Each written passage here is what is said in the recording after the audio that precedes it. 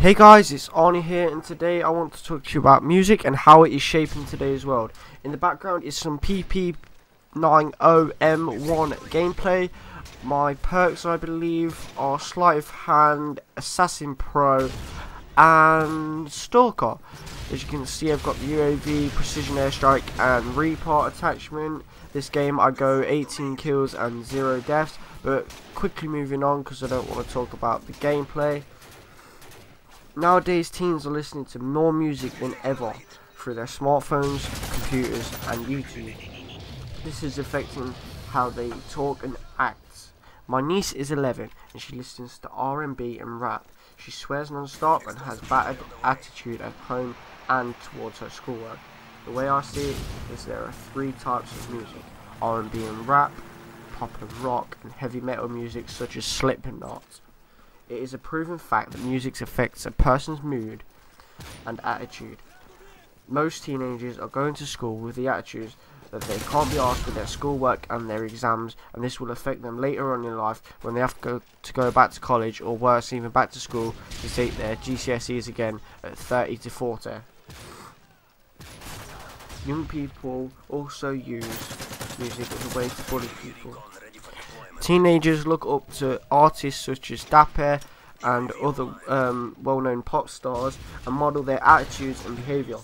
Teenagers are being stereotyped by other teens, adults and police officers. For example, chav is a word that we have here in the UK for someone who wears branded designer clothes and listens to R&B and rap music.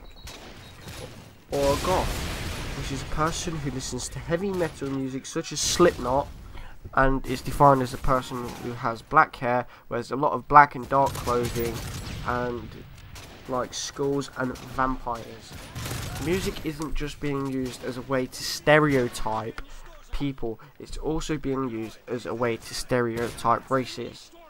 For example, a black person is stereotyped for listening to music with a lot of swearing or sexual references to women and a lot of cursing.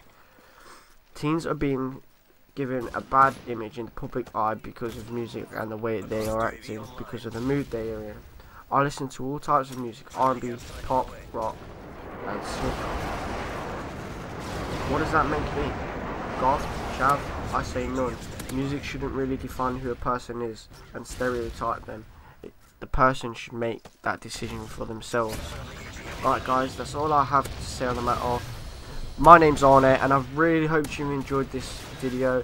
If you would like to see more, don't forget to subscribe to me www.youtube.com forward slash user forward slash huntermanone. On my channel I have a lot of new gameplay. I'm currently in the middle of making my P90 series, uh, best of the SMG. Check that out if you want to. Don't forget to leave a comment below and don't forget to like as well. Come subscribe if you actually really enjoy this episode and want to see more. Also don't forget to look in the description. Come follow me on twitter. I'm always updating on twitter when i'm live streaming or when i'm gaming or when a new episode is going to go up. And just leave comments in the description below what your thoughts are on this battle. Right guys, thank you for watching. The final score, as I said at the beginning, is 18 kills and 0 deaths. And yes, I do get the final game winning kill. Thank you guys for watching. Goodbye.